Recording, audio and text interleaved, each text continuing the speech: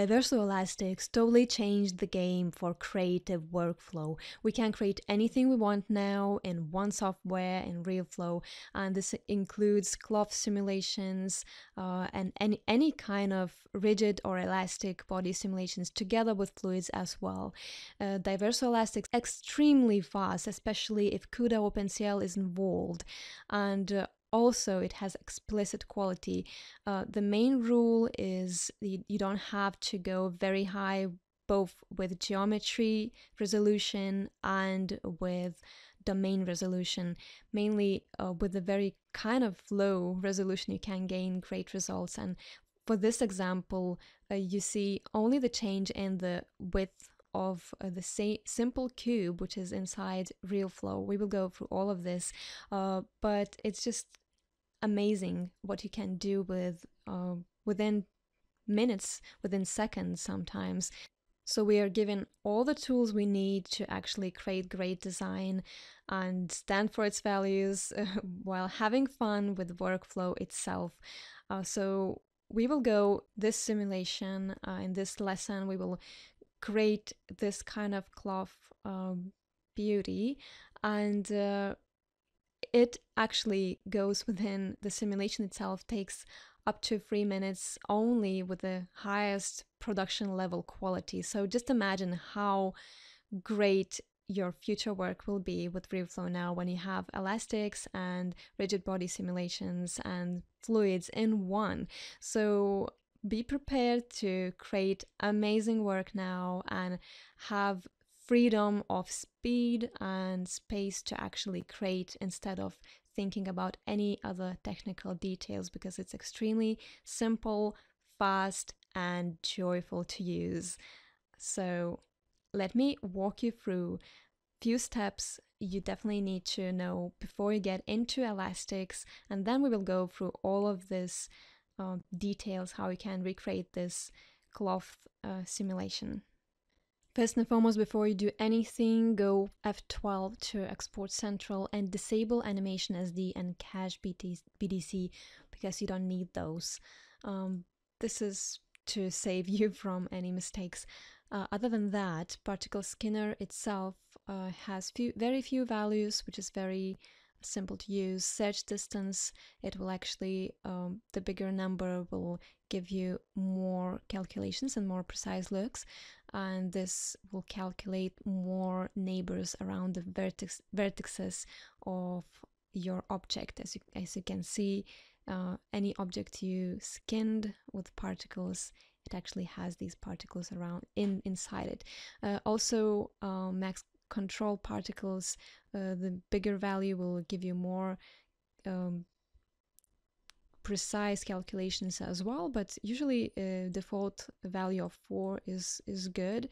Uh, the only exception sometimes if you want to still have uh, very few wrinkles and you have um, uh, still see any wrinkles, you can leave the search distance uh, quite low 0.2 for example as it is right now and increase your max control particles up to 100 or so um, it might help you just just giving you the heads up. Uh, outside control particles, uh, by default, uh, system calculates inside particles, uh, but if you have any uh, thin layers like cloth, uh, it, it would be good. Um, for example, if it's very thin, it would be good to use um, outside control particles. Uh, other than that, substeps is extremely important, both with search distance and max control particles. Uh, and as always, substeps and frames per second you you actually choose to be uh, has direct results. So uh, if you have bigger frames per second, of course, more calculations will be done for each frame per second, and more um, accurate results you will get. Uh, also, uh, if you have too too little of uh, substeps, sometimes um, stiffness might not be very visible. So keep that in mind.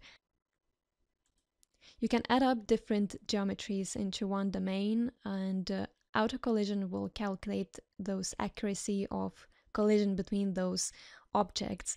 Uh, body stiffness is the main value you will play around with. Uh, bigger values uh, will in introduce you uh, with more rigid body feels and looks, and smaller values will be more less stiff. So, like gummy bear, for example, or cloth. Uh, and uh, we don't recommend you to use higher values than one.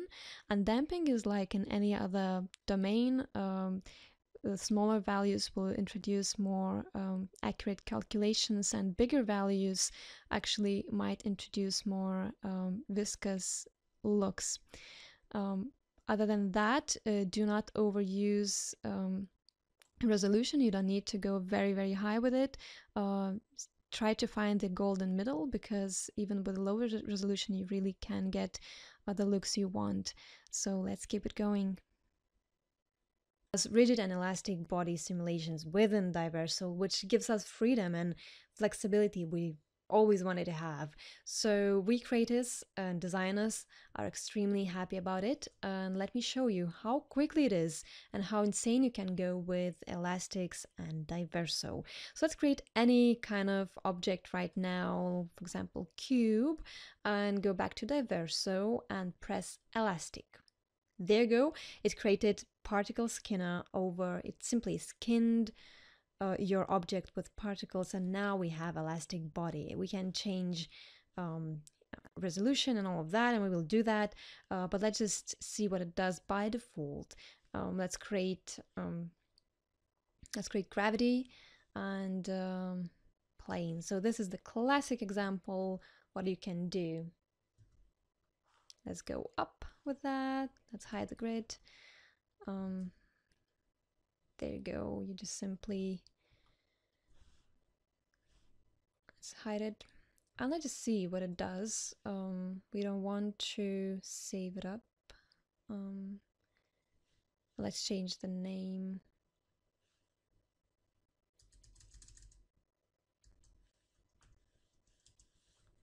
so I won't rewrite anything overwrite anything else let's see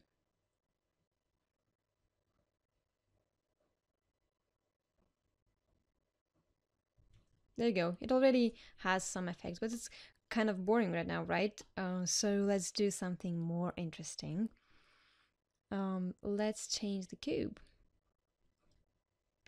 I would like to see something really, really thin and long, kind of thin. So we would have more motion in it.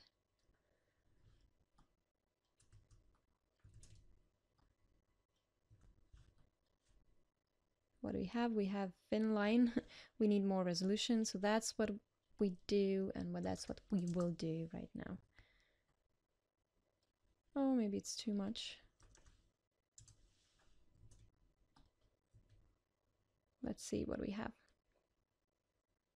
Haha, there you go. It's really fun, isn't it?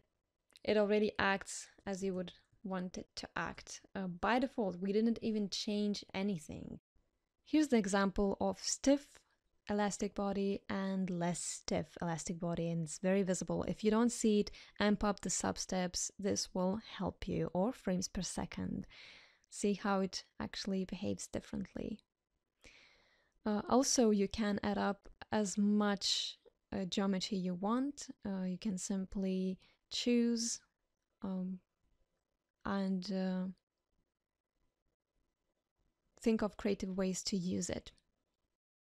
I highly recommend you to to explore different kind of stiffness and uh, different kind of geometries but you don't have to go very high res resolution with geometry. Just use anything built in or very simple ones. And uh, this is an example of noise.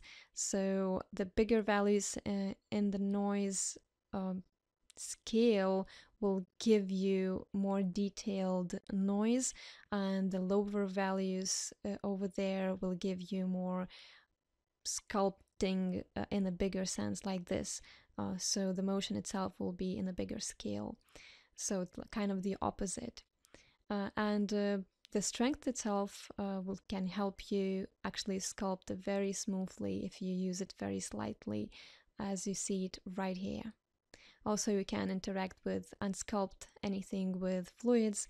Those can be nice streams as well, or just a helping tool to sculpt anything you want.